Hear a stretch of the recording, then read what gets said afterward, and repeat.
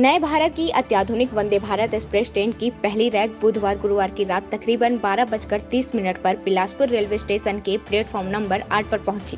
दरअसल एस को जल्द वंदे भारत ट्रेन की पहली सौगात मिलने वाली है। वंदे भारत की पहली ट्रेन नागपुर से बिलासपुर के लिए चलेगी। ट्रेन के परिचालन को लेकर तैयारी पूरी कर ली गई है। आगामी 11 दिसंबर को पीएम मोदी एस के पहले वंदे भारत ट्रेन को हरी झंडी दिखा सकते हैं। इससे पहले specialist loco staff Vande Bharat express की पहली रैक लेकर बिलासपुर स्टेशन पहुँचे। यहाँ यार्ड में रैक के मेंटेनेंस से लेकर फाइनेंस इंस्पेक्शन का काम भी होगा, जिसके बाद रैक को इनोग्रेशन के लिए रखा जाएगा। इस ट्रेन को यात्रियों के लिए सुविधाजनक डिज़ाइन किया गया है।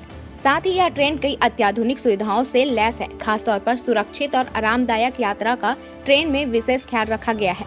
सिटिंग चेयर अरेंजमेंट से लेकर CCTV, fire safety device, forest box, smart toilet, glass window, automatic door, display board, air conditioner, deep freezer जैसी कई अत्याधुनिक सुविधाएँ वंदे भारत में मौजूद हैं। नागपुर से बिलासपुर के बीच 130 किलोमीटर प्रति घंटा की रफ्तार से ट्रेन का परिचालन होगा। नए भारत के लिए नए और मॉडर्न टेक्नोलॉजी से लेस है यह ट्रेन खासियत तो इस ट्रेन का लुक ही है। प्लस बहुत ही साउंडलेस ड्राइविंग है। और पब्लिक को भी साउंड नहीं आएगा। ना स्पीड में भी हाई स्पीड में भी पता नहीं चलेगा कितना स्पीड में चल रहा है गाड़ी। चलो हो गया इंजन की क्या खासियत तो है इसको बैक करना पड़ेगा। हाँ हाँ। इंजन की इंजन की बहुत खासियत है। क्विक एक्सीलरेशन है क्विक ब्रेकिंग है।